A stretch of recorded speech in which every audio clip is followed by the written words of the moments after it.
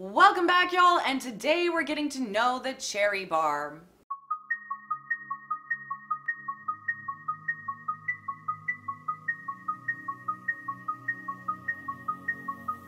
Cherry barbs originate from the small streams and rivers of Sri Lanka. They are a small, peaceful schooling fish and have an average lifespan of around 4 to 5 years. Between the fact that these are extremely hardy fish and the males tend to be a vibrant, bright red, it's no wonder that these fish are so popular in the hobby. While these fish are relatively small, getting only to be about 1.5 to 2 inches in size, because they're extremely active swimmers and they are a schooling fish that need to be kept in a minimum grouping of 5 to 6 fish, they will do best in a minimum tank size of 20 gallons, but 30 gallons plus is preferred.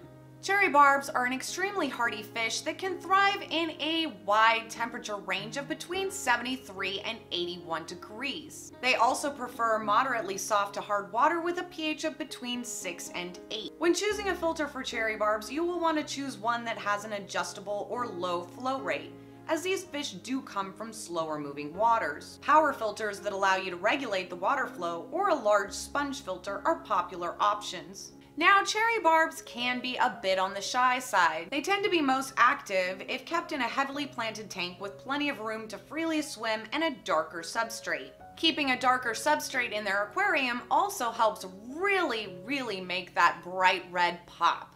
Now for tank mates, cherry barbs once again are a schooling fish and do best when kept in at least a group of 5 to 6, while also keeping a ratio of 2 to 3 females per male in the tank. Male and female cherry barbs are pretty easy to tell apart. Males are bright red and slim while females are much lighter in color and tend to have a more rounded out body.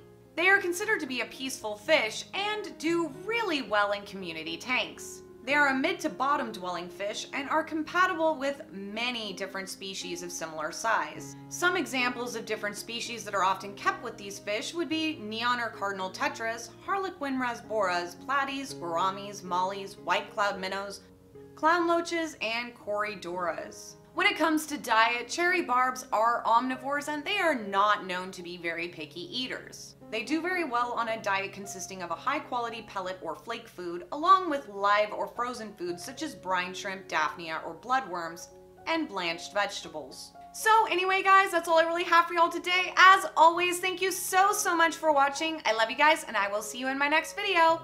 Bye!